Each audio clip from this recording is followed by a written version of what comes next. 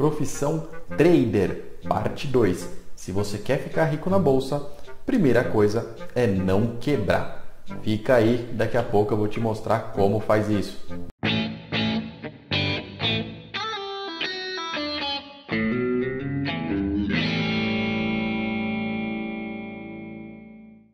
Olá, trader! Olá, você que quer ser trader. Você está tentando ter resultado na bolsa, você quer fazer com que a bolsa te dê ganhos expressivos. Tem algumas teorias legais que eu vou falar ao longo da nossa série aqui da profissão trader, mas a primeira coisa que você precisa saber é que para você ficar rico ou ter ganhos bons e consistentes no longo prazo na bolsa, a primeira coisa que você precisa fazer é ficar vivo, ou seja, não quebrar, tá? Quando eu falo não quebrar, muita gente pensa: "Ah, é fácil falar, quero ver fazer, porque isso é difícil, na hora H vem lá um um payroll ou qualquer outra coisa que acontece durante o mercado e eu vou lá e perco dinheiro. Não é assim que funciona. A perda excessiva ou a quebra na conta acontece por um único motivo, tá? Esse motivo chama-se alavancagem. Guarda essa palavra porque isso é muito importante. Isso vai definir a forma como você opera. Vamos supor que você é um engenheiro e você vai lá e quer ganhar quatro vezes mais do que você ganha por mês. Ou você arruma quatro empregos, ou você faz quatro vezes mais obra do que você está acostumado a fazer. Não tem como você ganhar quatro vezes mais se você não tiver que suar quatro vezes mais. Né? Isso é uma coisa meio básica, assim, todo mundo que opera, que vive fora da vida do trader entende isso. Agora, como é que funciona na vida do trader? Hoje o trader está operando um contrato por dia. O trader não está feliz com o resultado porque acha que é pouco o trader vai lá amanhã e aumenta o número de contratos operados para quatro contratos por dia. Então, a mesma coisa que você faz com um, você faz com quatro, você faz com 40, você faz com 500. Tá?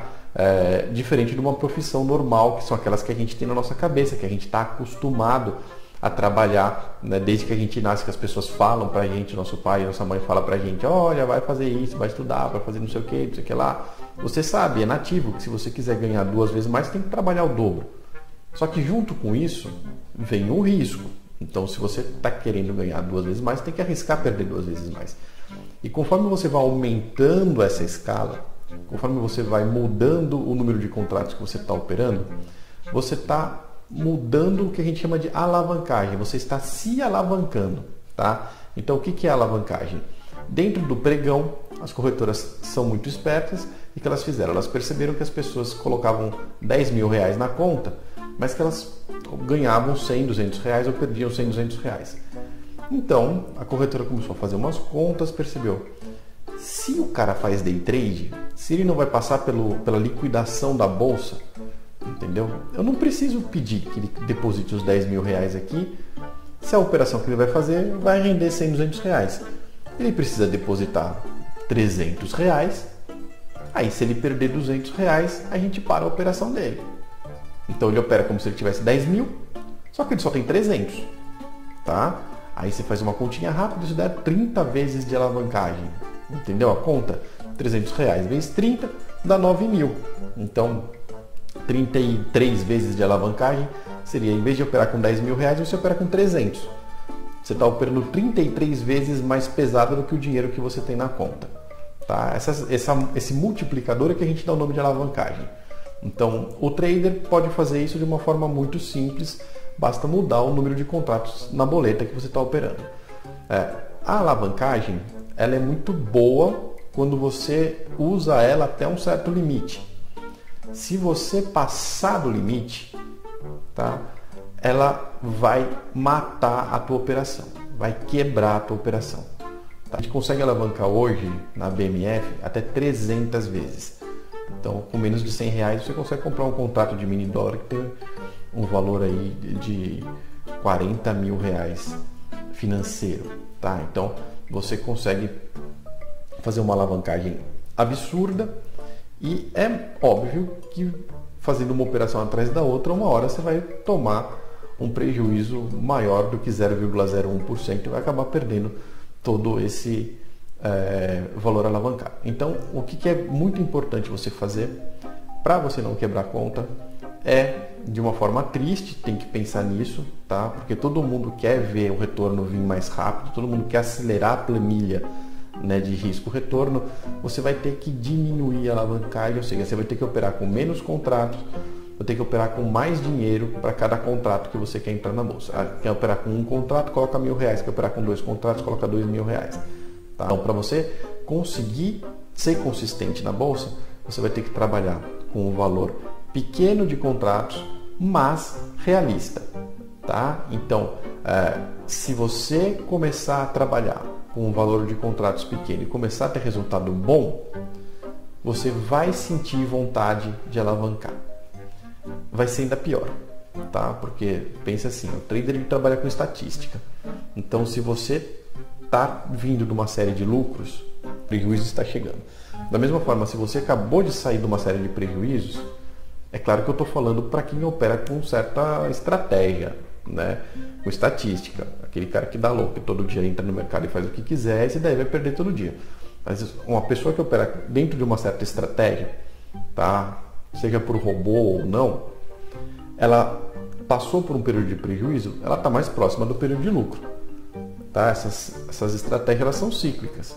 Então você tem um período de prejuízo que normalmente é condicionado a ser curto, a gente faz é, uma calibração nas nossas estratégias de uma certa forma que o prejuízo, embora seja inevitável, ele vai acontecer poucas vezes no ano e toda vez que ele acontece é uma brecha que você tem para aumentar a sua posição, não diminuir, tá? Ou reestruturar a sua operação, realocar a sua operação entre outras estratégias. Então, um momento de prejuízo é um momento bom porque ele abre uma brecha para você mexer nas, nas suas configurações, tá? E o momento que vem depois de um lucro muito forte, normalmente é um, é um momento delicado, porque embora você esteja muito feliz, você sabe duas coisas. Primeira, está vindo um prejuízo, que vai vir, não tem jeito. Segunda, você tem que resistir à tentação de aumentar a quantidade de contratos na sua operação, porque lembra, se você fosse um engenheiro, você teria que fazer quatro vezes mais prédios para ganhar. Então você sendo um trader, você tem alguma coisa errada com esse negócio de você conseguir operar quatro vezes mais no dia seguinte. Ah, eu vou operar quatro vezes mais. Você vai lá e opera quatro vezes mais. Tá? Tem alguma coisa errada. O que está errado? O que, que não está fechando nessa conta é que todo o dinheiro que você ganhou operando uma vez, vamos supor que você ficou quatro meses ganhando dinheiro. Quatro meses ganhando dinheiro operando uma vez. Se você aumenta para quatro, que, que está acontecendo? Primeiro, você ficou quatro meses ganhando, você sabe que um prejuízo está se aproximando. O prejuízo que estava lá longe vem chegando cada vez mais perto. Tá? Então você está mais perto de tomar um prejuízo. E outra coisa, se você aumentou para quatro vezes, quando esse prejuízo chegar, ele não vai ser um prejuízo simples, que vai pegar e vai devolver lá um mês dos quatro que você ganhou. Não, você vai ter um prejuízo quatro vezes maior. A estratégia é a mesma. Então você teria devolvido um mês, teria ficado com três, certo? Quando chegou o prejuízo. Você vai devolver quatro. Então você aumenta para quatro vezes, chega o prejuízo, você devolve quatro vezes o que você ganhou. Isso se você tiver ganho já, né? Porque o cara que começa mais alavancado já não tem nem a gordura para queimar. Mas você perde quatro vezes e você volta para estacar zero. Então você faz cinco meses de operação, fica durante muito tempo feliz, conta para todo mundo que está ganhando dinheiro na bolsa, conta para a mulher, fica lá fazendo conta de quando você vai comprar suas coisas, como é que você vai tirar de salário da bolsa e tudo mais. E de repente você aumenta a mão, vem um prejuízo e ele leva tudo que você ganhou. Tá? Te deixa de volta no estaca zero, aí você olha para trás e vê que a única coisa que você ganhou foi experiência, porque de dinheiro mesmo você já não tem mais, porque você perdeu tudo alavancando mais ainda do que você já estava alavancado quando você começou. Então é muito importante você não mudar a alavancagem também dentro da operação. Tá? Acabei de dar um exemplo do lucro, mas vamos fazer o exemplo do prejuízo agora. Tá? Você está operando lá, pegou um mês ruim, perdeu. Você perdeu, você falou assim, hum, perdi muito dinheiro, estou operando muito pesado eu vou diminuir a mão. Então você diminui para 25%. Então você está operando lá quatro contratos, você resolve diminuir para um. O dinheiro que você perdeu com quatro, você não recupera com um. Você pode recuperar um pedacinho. Um pedacinho. Mas o dinheiro que você perdeu com 4 você não recupera com 1. Então o que, que você faz? Você perde com 4, dá uma levantadinha com 1, porque o lucro estava chegando, ia chegar o lucro, obviamente você passou pelo prejuízo. Provavelmente, né, o que, que vai vir na sequência? Um lucro mais consistente. Só que o lucro mais consistente chega e você está operando menos. Então você dá um voo de galinha, que não recupera nem perto do que você perdeu, te deixa feliz e você aumenta a mão de novo, aumenta a mão de novo, vem de novo o prejuízo, você perde de novo com quatro vezes. Isso daí a gente chama de queda em espiral na bolsa. Né? Quando o cara começa a diminuir mão, aumentar, diminuir mão, aumentar, chega uma hora que ele só diminui, diminui, diminui, até acabar o dinheiro.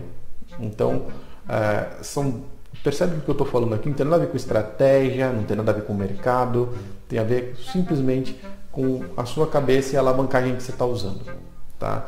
Então, se você começar a trabalhar com alavancagem sem entender direito como ela funciona, isso que eu acabei de falar, esses dois cenários, tanto no lucro como no prejuízo, de aumentar a mão e de diminuir a mão, vão fazer parte da sua rotina. Você vai fazer isso instintivamente, a gente está programado para fazer isso, quando na verdade o que você precisa é escolher uma alavancagem adequada, normalmente que fica perto dos 10 vezes de dinheiro alavancado. Se você estiver perto dos 30 vezes de alavancagem, você sabe que você está correndo muito risco. Tá? Normalmente, quando você tem pouco dinheiro, você é obrigado a puxar para essa 30 vezes de alavancagem, de 30, 40 vezes de alavancagem. Agora, se você estiver usando 100 vezes de alavancagem, você vai quebrar. Desculpa te dizer isso, eu sei que dói, mas é a verdade. Então, tenta trabalhar o mais próximo possível de 10 vezes de alavancagem. Ah, então, Carlos, melhor nem alavancar. Não, pô, se não alavancar nada também, você fica com ganho muito para baixo. A alavancagem pequena, ela machuca, mas não mata. Tá? A alavancagem grande, ela não machuca, ela mata. Então, você tem que ter esse discernimento e você precisa operar sempre igual, ou seja, sempre a mesma quantidade. Então, é muito importante, né, qual é a conclusão lógica? É muito importante que você comece operando a alavancagem adequada que você vai continuar operando durante muito tempo, tá? E depois de um prejuízo que você tome aí em algum momento da sua operação, você aí sim, depois que passou o prejuízo, você aumente a quantidade. Então você faz uma estratégia que deve ser de longo prazo. Em algum momento você vai decidir realocar essa estratégia, todo mundo faz isso, mas isso você faz depois de um prejuízo. Você tomou um prejuízo, aí você realoca a sua estratégia, provavelmente aumentando a sua posição, porque você está operando já faz algum tempo, você tem que ter algum resultado acumulado. Você realoca isso em outras estratégias e espera o bom momento, a recuperação vir com a sua posição maior. Isso quer dizer que você já sai do prejuízo mais rápido e volta a performar mais rápido. Essa é uma regra de risco não é uma regra de bolsa, de setup, é uma regra de risco, mas que faz toda a diferença na operação real. Se você conseguir seguir essa regra de risco, seus resultados vão aumentar muito mais. E se você quiser ficar rico na bolsa, fica aí, dá o seu like, se inscreve no canal, porque nos próximos vídeos eu vou dar mais dicas até chegar na fórmula final de como ficar rico operando na bolsa.